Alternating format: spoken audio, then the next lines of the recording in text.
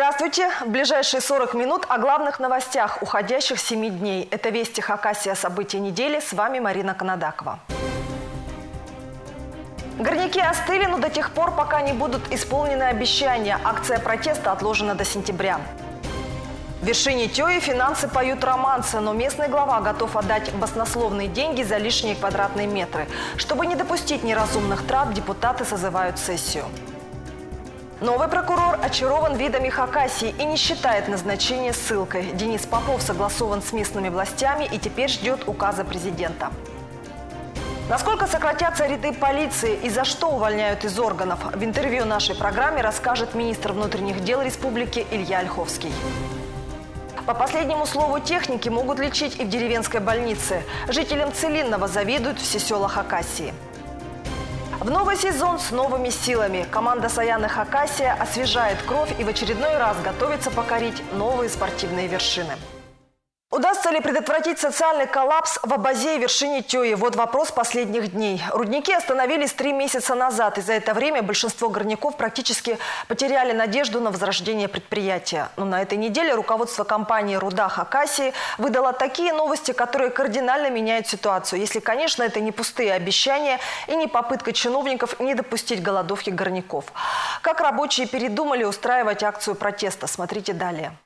9 утра, рудоуправление, кабинет директора. Но самого начальника на месте нет. За него с людьми, готовыми хоть сейчас сесть на голодовку, объясняется главный инженер. Сергей Замятин объявляет две новости, которые призваны в корне изменить настроение горняков.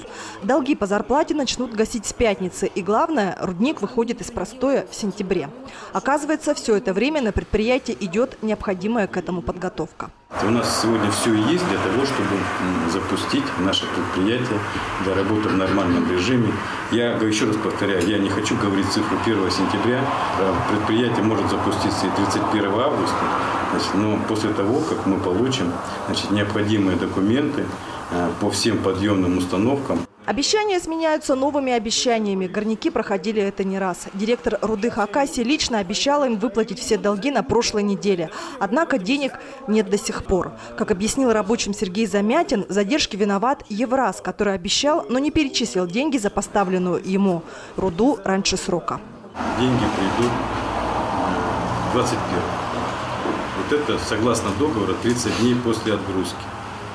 Э, придут э, деньги значит, в объеме 10 миллионов. Главному инженеру пришлось больше часа отвечать на вопросы собравшихся, а у них достаточно сомнений в том, что деньги им действительно выплатят и рудник снова заработает. Ведь цены на сырье прежние, а значит нет никакой гарантии того, что кризис остался позади. Оставят ли всех ведь речь идет и о сокращении, о всем. Люди останутся, а потом куда? При возобновлении работы, продолжении да, да, на дальнейшее, вот те, какая сегодня численность есть, э, значит, она вся будет востребована для строительства значит, нашего предприятия. 1 сентября опять не запускается. Дальше что?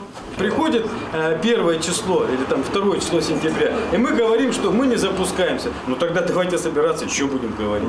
Тем не менее, по итогам встречи горняки решили дать еще один шанс руководству компании. Стороны создали инициативную группу из числа горняков, которая будет из первых рук получать всю информацию о положении на предприятии и впоследствии передавать ее остальному коллективу. Так удастся предотвратить кривотолки, которые, как считают сами горняки, мешают адекватно воспринимать ситуацию. Что касается акции протеста, то она отложена до сентября. До сентября будем ждать, а там уже уже нас, мы устали жить в мире, надо развязывать, как говорится, войну. Ну, не то чтобы войну, а ну, надо действовать, выходить, чтобы нас услышало правительство. Если бы мы остались сейчас и сидели бы, продолжали свой протест, я думаю, что ничего больше, чем вот сейчас информации нам дали, не произошло бы все равно. Наша цель была все-таки, чтобы нас услышали. И услышали не то, что наше руководство, они нас так слышат и знают каждый день, а услышали нас выше. Поэтому, да, возможно, мы и отложили на данный момент, и так категорично не отстояли, скажем так, голод, холод. И так, наверное, нам все это предстоит еще. Зима нелегкая. Ну вот, наверное, да, в связи с этим, что нас услышали. Следующем месяце также выйдут на работу горняки вершины Тёи. За счет чего это произойдет, остается неясным. Судя по всему, волевое решение руководства Рудых Акасии в основном связано с оптимистичными прогнозами о том, что в сентябре рыночные цены на сырье могут повыситься. Монопольный же покупатель руды, холдинг «Евраз», пока не объявлял о готовности менять свою позицию и платить за концентрат больше, чем он стоит сейчас. Кстати, первоначальная дата, когда должен решиться вопрос по цене, также переместилась с 21 августа на 23 или даже 25 число. Тем временем в поселке Вершина Тёи, который финансово полностью зависит от стабильности рудника, разгорается скандал, главный фигурант которого – председатель постсовета Сергей Дегтярев. Он пожелал купить цокольный этаж в одной из новостроек и готов потратить на это 20 миллионов рублей. При том, что в местной казне денег нет не то что на дорогие покупки, зарплату бюджетникам не платят второй месяц. Конкурс, возможно, бы и состоялся, если бы не бдительность Общероссийского народного фронта. Его активисты намерены добиться отмены торгов. То есть бюджет, он вообще он сдувается вот на глазах. Его не было. И, Его не было. И сейчас и, и, и 20 миллионов рублей с учетом сложной обстановки в принципе финансовой у нас э, в республике Хакасия, с учетом пожаров, которые произошли, мы за 20 миллионов рублей покупаем цокольный этаж. Максим Мареев возглавляет рабочую группу «Честная эффективная экономика», которая внимательно следит за тратами чиновников всех уровней. И как только на сайте госзакупок появилось объявление постсовета вершины ТЕИ, начали собственное расследование. Зачем администрации помещение в 650 квадратных метров, глава Сергей Дегтярев так и не смог объяснить. Целевое назначение данного помещения тоже не прослеживается. Для чего? И изначально было желание туда переселить, в это помещение переселить постсовет сам, который находится в здании милиции на втором этаже. Здание действительно ветхое. Э, после этого тренажерные залы, после этого компьютерные залы. Э, в общем, ничего конкретного нету. Фронтовики обнародовали скандальный факт еще и потому, что цокольное помещение, которое пожелал глава вершины Тёи, находится в доме, построенном на федеральные средства для переселенцев из аварийного жилья. И никаких коммерческих квадратных метров там быть не может. Какие отношения связывают застройщика, который владеет цокольным этажом, и главу постсовета, должны разобраться компетентные органы, считают активисты ОНФ. Тем временем скандалом решили заняться и депутаты вершины Тёи. В предстоящий четверг они обсудят поведение Сергея Дегтярева. Ни один депутат не высказался за приобретение. Э, более того, даже если есть возможность республики какие-то денежные средства э, затратить на это приобретение, то хотелось бы их увидеть, э, мы, мы хотим, депутаты, видеть эти деньги в котельной, которая на сегодняшний день не готова 100% к запуску. Получить комментарий Сергея Дегтярева не удалось. Глава постсовета избегает всяких контактов и не берет мобильный телефон. По словам председателя Совета депутатов, ей также не удается дозвониться до него. Но долго хранить молчание у виновника скандала вряд ли получится. Общественники готовят письма в правительство и прокуратуру, а это уже совсем другой уровень вопросов. Марина Канадакова, Игорь Брюханов, Вести Хакасия. События недели. В республику приехал новый прокурор Денис Попов. Его кандидатуру единогласно согласовали глава республики и депутаты Верховного Совета. Теперь необходим указ президента, после чего новый руководитель надзорного ведомства сможет приступить к своей работе. Затем, как депутаты голосовали за Попова, наблюдал Константин Кравцов.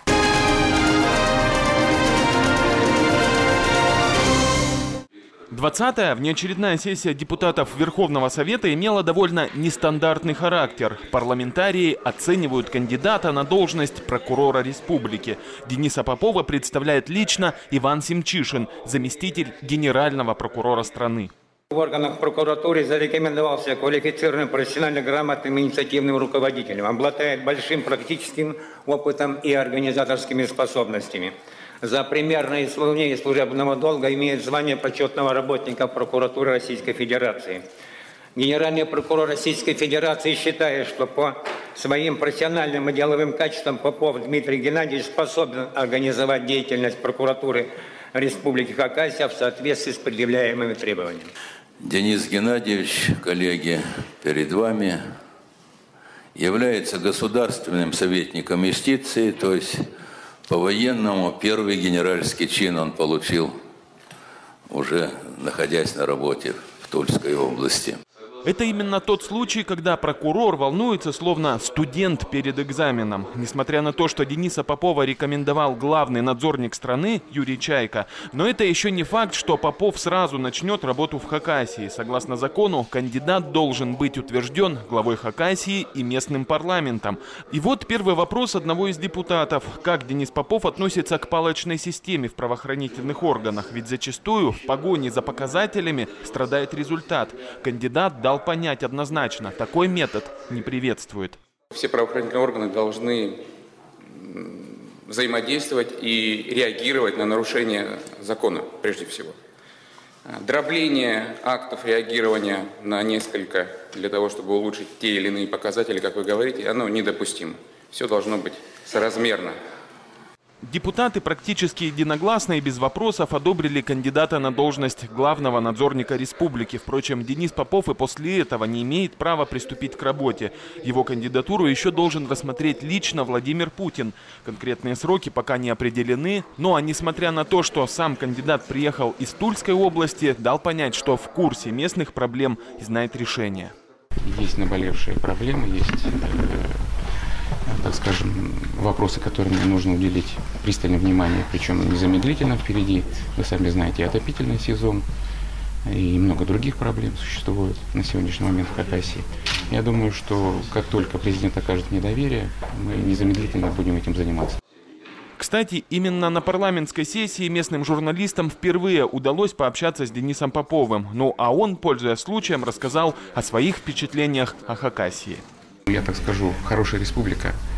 А, ну, по нашим меркам, наверное, но можно назвать и курортом, потому что здесь и достаточно количество солнца, красоты каких нет, наверное, нигде в нашей стране, хотя каждый регион может с этим поспорить. Но тем не менее, я с удовольствием принял это предложение, если мне окажут доверие. Я здесь задержусь и хотелось бы надолго. Впрочем, парламентариям предстояло рассмотреть не только прокурорский вопрос, но и еще ряд законопроектов. Один из них касается будущего бюджета о приватизации госимущества. По мнению инициаторов, чтобы оптимизировать работу некоторых организаций, их нужно отдать в руки инвесторов. В частности, это касается горнолыжного курорта «Гладенькая». Республика владеет почти половиной его акций. Остальные принадлежат частному лицу. Элитный комплекс, судя по всему, тяготит республиканский бюджет, содержать его невыгодно и проще продать сказать, такая же ситуация складывается и вокруг типографии Хакасия. Речь идет о двух объектах. Это гладенькая наш туристический комплекс, где республика имеет достаточно большую, около 50% долю. А, и второй объект – это типография, где также а, определенная доля, 40% была выставлена на торги, которые, в принципе, как бы вот э, тут победитель, который там получился, он, к сожалению, не выполнил свои обязательства, не внес в полном мере э, деньги необходимые, поэтому запускается заново процесс, и почему именно сейчас срочно, это связано с тем, что в сентябре месяце будет уточняться бюджет, и э, эти суммы, которые, возможно, бюджет может получить в результате этой приватизации, они должны быть учтены в бюджете. В результате решение о приватизации акций одобрил 31 депутат, трое воздержались. Судя по всему, объекты все же уйдут с молотка в ближайшее время. Конечно, при условии, что найдется богатый покупатель. Сумма сделки оценивается не в один десяток миллионов рублей.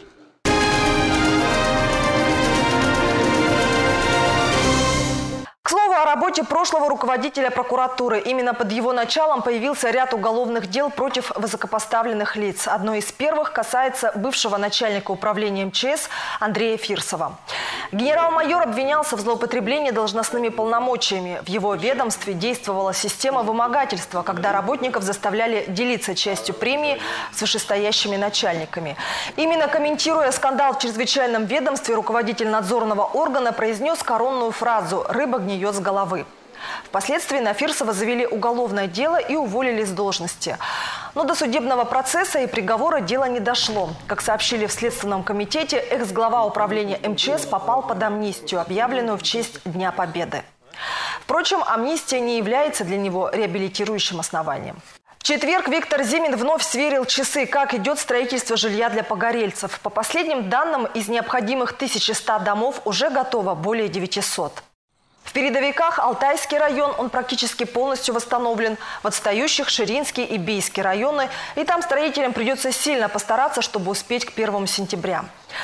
Один из самых обсуждаемых вопросов последних дней – акты приемки передачи, которые должны подписать погорельцы. Многие не хотят этого делать, так как их жилье не готово на 100% к сдаче. В правительстве уверяют, другого пути нет, и людям надо довериться властям, иначе процесс осложнится. Знаю ситуацию по каждому населенному пункту, коллеги. Там, где есть какие-то недочеты, недоделки, все должно быть в самое ближайшее время исправлено и доделано. Жителей прошу не переживать руководителя штаба, кураторам, главам муниципальных образований взять эти вопросы на особый контроль. В селе Целинное одной стройкой стало меньше. Там скоро откроется новая амбулатория, благодаря которой на порядок повысится уровень медобслуживания. А еще село получило в подарок новый пожарный автомобиль и карету скорой помощи. Из Ширинского района репортаж Елены Крыловой. Целинном сегодня день села. 60 лет поселку. Круглой дате он получает сразу три больших подарка. Пожарную машину, автомобиль скорой помощи и новую амбулаторию. Так как мы страховая компания, мы и по закону, и по сути страхового бизнеса, к сожалению, очень часто сталкиваемся с человеческими трагедиями. В 2010 году, когда в Иксе, в Нижнем Новгороде, произошел похожий случай, похожая трагедия, когда горели а, леса, горели тоже поселки, мы а, решили, что мы будем помогать людям в качестве благотворительности. Ингострах одаривает поселок, чтобы он быстрее оправился от пожаров. 12 апреля здесь сгорело 12 квартир. Пожарный автомобиль у нас был республикой подаренный 4 года назад, в 2011 году, на базе газа от Черногорского МЧС. А на сегодняшний день мы им спасли наше село. Сейчас в данный момент будем стараться расширять, выходить э, с просьбой на МЧС Хакасии, для того, чтобы нам расширили вакансии, то есть и сделать свое депо. Новый пожарный автомобиль ГАЗ емкостью 8 кубов. Самая мощная и удобная для сельских условий машина. Один из двух водителей местной пожарной бригады впервые открывает дверь. Замок не барахлит. Высший класс. Техника. Новая техника есть новая техника. Тем временем врач с 25-летним стажем, кажется, и передать не может всех эмоций. Знаете, мы такие довольные, потому что у нас такого автомобиля не было, просто санитарный автомобиль, это во-первых. Но автомобиль автомобилем я больше всего довольна амбулаторией.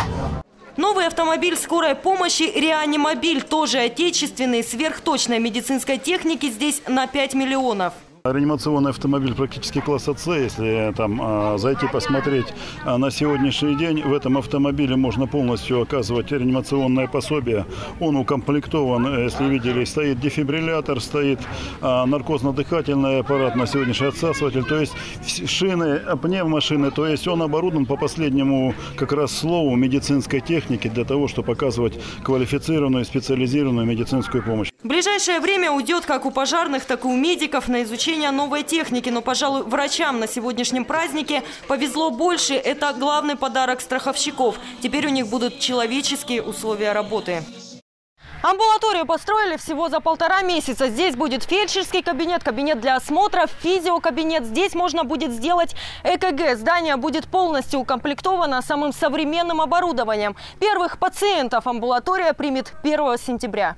В эфире «Вести Хакасия. События недели» и мы продолжаем. Полиция Хакасии готовится к очередному сокращению штатов. Оно проводится в рамках всеобщей оптимизации госструктур, объявленной еще в начале года. Впрочем, ведомстве не забывают очищать свои ряды от сотрудников, позорящих честь мундира.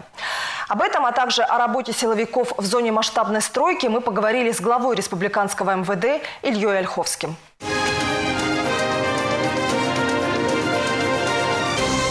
Добрый день, Илья Иванович. Добрый день. Итак, вот первый вопрос, о чем хотелось бы спросить, это э, насколько были сокращены структуры МВД в Хакасе, да, э, насколько мы помним, в начале года вот у нас шло такое всеобщее сокращение госструктур, оно также коснулось и силовых органов. Ну, вы знаете о том, что у нас уже такая очередная волна прошла. Это было несколько лет тому назад. В этом году нам предстоит, мы еще, есть такое новое слово появилось, оптимизация, пройти этот этап. Значит, примерно на 7% мы от всего личного состава у нас подлежит сокращению или оптимизации личного состава от общего списка. Хочу сказать, что В этом году сама политика сокращения очень грамотно проходит. Мы с января, с февраля месяца текущего года практически не принимали сотрудников э, на прохождение службы в органы внутренних дел. Таким образом был создан так называемый кадровый резерв, Э, который позволяет сейчас часть сотрудников, которые имеют определенную подготовку, э, образовательный ценз, переместить на те должности, которые у нас вот, в процессе повседневной жизни стали вакантными должностями.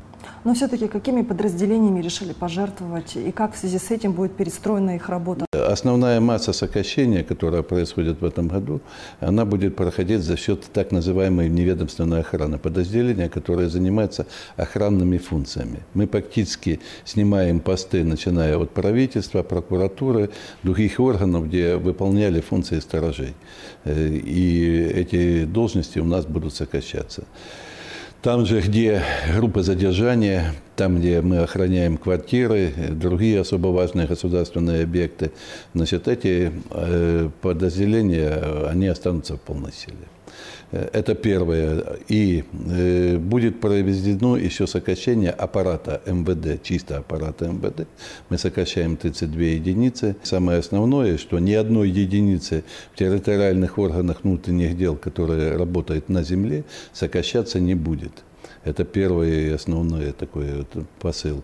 Второе, то, что ну, мы, э, все те структуры, которые существуют, следствие, уголовный розыск, ну так называемые ведущие службы, они также не пострадают от этого сокращения. А вот 2015 у нас э, проходит под знаком восстановления республики после апрельских пожаров. Известно, что правоохранительные органы э, также принимают активное участие в охране территорий, пострадавших от стихии. Вот можете уже обозначить какие-то результаты? Как много было случаев мародерства? Как вообще удалось вам сохранить там порядок? Очень серьезную помощь нам оказала э, МВД России.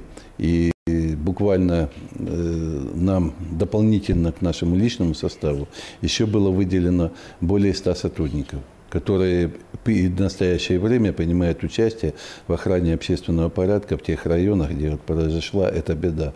Причем принимают очень активное участие. Пресечено более двух тысяч административных правонарушений и э, десятки раскрытых преступлений, где принимали участие наряду с нашими сотрудниками, принимали участие и принимают участие, потому что они и сегодня еще э, проходят службу до 1 сентября на нашей территории. Илья Иванович, хотела уточнить, 2000 административных э, правонарушений, это речь о чем идет? Самая главная та задача, которая стояла в целом перед э, системой МВД, это не допустить мародерства, не допустить каких-то массовых нарушений общественного порядка. Там, где связано со строительством, в целом э, на сегодняшний день зафиксировано 20 э, преступлений, связанные с хищением стройматериалов и ну, как бы все то, что связано. Я считаю, что за такой промежуток времени это довольно незначительное количество, и причем серьезных преступлений не было. Основная масса из тех преступлений, вот эти, с этих 20, которые были совершены, основная масса, она раскрыта, и виновные на сегодняшний день привлекаются к уголовной ответственности. Как правило, это хищение стройматериалов самими же рабочими для того, чтобы их продать и употребить на приобретение спиртных напитков. Вот э, чистота рядов э, в органах правопорядка всегда тоже такой особый вопрос, который интересует общественность. В этом году сколько полицейских было уволено э, по отрицательным мотивам? Та реформа, которая э, переход от милиции к полиции, аттестационные мероприятия, э, они, конечно, сказываются. Я более того хочу сказать, что сегодня поступить в органы внутренних дел, мне кажется, в космонавтов быстрее и легче поступить. Несмотря даже на то, что мы понимаем такие очень серьезные меры, к сожалению, наверное, как и в любом коллективе, а у нас коллектив не маленький, есть те сотрудники, которые не допонимают, не оценивают, может быть, и не дорожат званием э, сотрудника полиции. Мы в этом году уволили по отрицательным мотивам 13 сотрудников. Это, как правило, это вот э, за употребление спиртных напитков. Нет, это управление автотранспортным средствами в состоянии алкогольного опьянения. Хочу сказать, что мы очень жесткую политику к этому принимаем. К сожалению, несколько полковников вынуждены были снять погоны и быть уволены по отрицательным мотивам именно вот за то, что не понимали того, что в первую очередь с них будет такой спрос. А грубых правонарушений, вот связанных с уголовной ответственностью, не было? Ну, у нас мы увольняли тоже и за грубые нарушения. Вы знаете о том, что э, по факту э, было возбуждено уголовное дело в отношении двух сотрудников патрульно-постовой службы, э, которое, в общем-то, расследовалось, и сотрудники признаны были виновными, и в отношении их был применен акт амнистии. Одно из заметных событий недели – это приезд э, нового прокурора, очевидно, то есть осталось еще его утвердить указом президента. Э, как вы, как глава значит, МВД Хакасии, да, будете выстраивать отношения с новым руководителем надзорного ведомства? Ведь вы вот достаточно плотно взаимодействуете, друг от друга зависите. Я хочу сказать, что э, цели у нас э, и методика работы разные, потому что они надзорные, прокуратура, не контролирующий орган, мы исполнители. Э, но, а задачи у нас одинаковые. А задача у нас единая – это охрана общественного порядка, наведение порядка, чтобы каждый гражданин чувствовал себя защищенным. Поэтому э, в связи с тем, что задача наша общая, ну, я думаю, что и теми правовыми нормами, которые на сегодняшний день существуют, мы и будем совместно наводить порядок. Там на самом деле высокие профессионалы сегодня в прокуратуре работают. Люди имеют определенный опыт, знания, познания, поэтому с, с ними, в общем-то, и удобно, и хорошо работать. Но для вас важно, наверное, иметь плодотворные отношения ну, с таким конечно, органом. Конечно, э, Если человек работает как профессионал или человек, который работает с опломбом, наверное, это разные вещи. Илья Иванович, я благодарю вас за то, что вы нашли время и ответили на наши вопросы. Удачи вам всем, всего доброго. Всего доброго.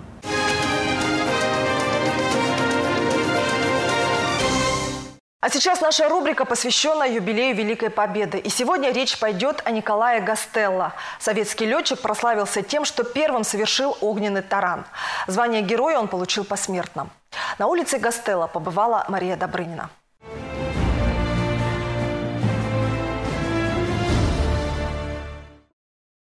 Эта улица в Абаканском микрорайоне Гавань свое имя получила в начале 50-х годов 20 -го века.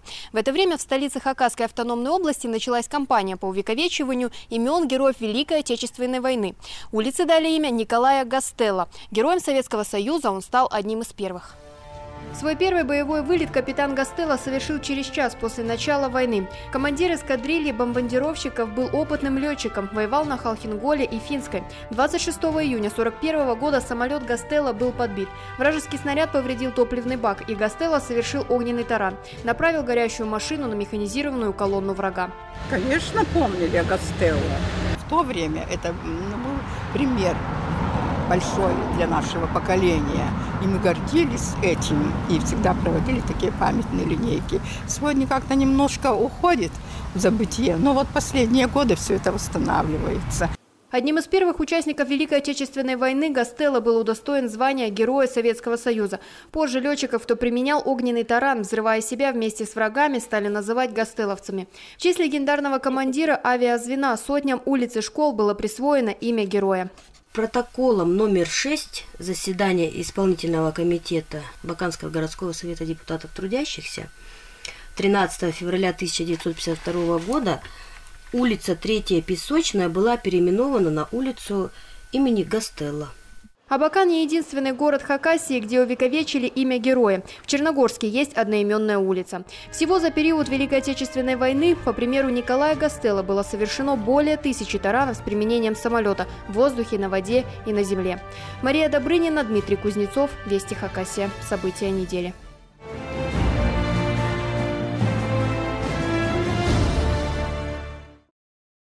Саяны Хакасия готовится к предстоящему сезону. В этом году наша команда пополнила сразу пятью новыми игроками. Тренеры ставят цель перед хоккеистами попасть в Суперлигу. За тренировкой наблюдали наши корреспонденты.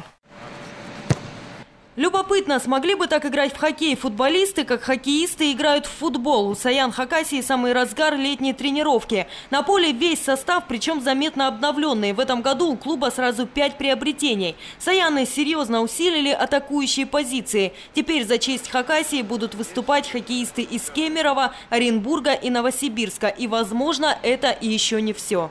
Хотелось бы по рисунку игры, по нашему тренерскому мышлению, видению игры усилить а, борта. И так как у нас в том году, вы знаете, играл Алексей Терентьев, вот, э, это опытный защитник, вот такого уровня бы нам защитника еще подкупить. И вот это было бы вообще здорово. Средний возраст хоккеиста Саян 26 лет. В этом году тренерский состав сделал ставку на молодых. В числе новичков 22-летний полузащитник Максим Василенко. Воспитанник Кемеровской школы, мастер спорта. В составе Кузбасса провел около 60 матчей в Суперлиге. У меня уже есть определенный опыт выступления в таких соревнованиях. Ну, я думаю, поэтому меня сюда и пригласили. Может, какие-то есть причины, по которым я не мог себя так проявить в Кузбассе. То есть чего-то, может, мне не хватало как-то. Поэтому я решил попробовать себя на новом поприще. Пока в команде я, ну, хотел бы, конечно же, отметить капитана Жеку Ткачука. То есть он, мне кажется, больше всех выделяется. То есть игрок уже опытный. Окончательный состав клуба станет известен по окончании первого этапа Кубка России в сентябре. Саян и Хакасия могут пополниться еще одним-двумя игроками. Мы постараемся порадовать своих болельщиков и позволю себе так предположить, что основной задачей, не всякого сомнения, будет победа в группе, э, выход в финальную пульку и будем бороться за призовые места в финальной пульке за выход в Суперлигу конце августа наши хоккеисты проведут две недели в Красноярске. Там Саян Хакасия будут тренироваться на ледовом поле Первомайский, после чего снова вернуться в Хакасию, опробовать же свой домашний лед. Саяны смогут только в середине ноября. Примерно в этих числах и стартует первенство России среди команд высшей лиги. Елена Крылова, Сергей Казьмин, Вести, Хакасия. События недели. Это все, о чем мы успели вам рассказать. Материалы программы также размещены на сайте вестихакасия.рф. Я желаю вам всего самого доброго и до новых встреч.